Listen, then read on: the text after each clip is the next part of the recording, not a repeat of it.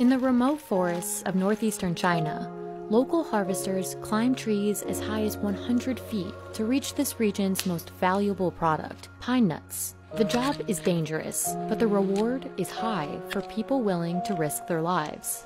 It needs specific conditions to grow. The trees need to grow for at least 25 to 50 years before they bear cones and seeds individual trees will only be ripe for picking once every two years. The Korean pine season typically starts on September 1st and can last as long as two months or be as short as 20 days. This brief window of time means laborers have to collect as many cones as possible into their large burlap sacks. These bags then go to a processing facility, where the cones are opened and crushed to reveal the pine nut shells inside. Once processed, some seeds are sold as they are now, in their shells, Others are sold as the white nuts you see in dishes like pesto.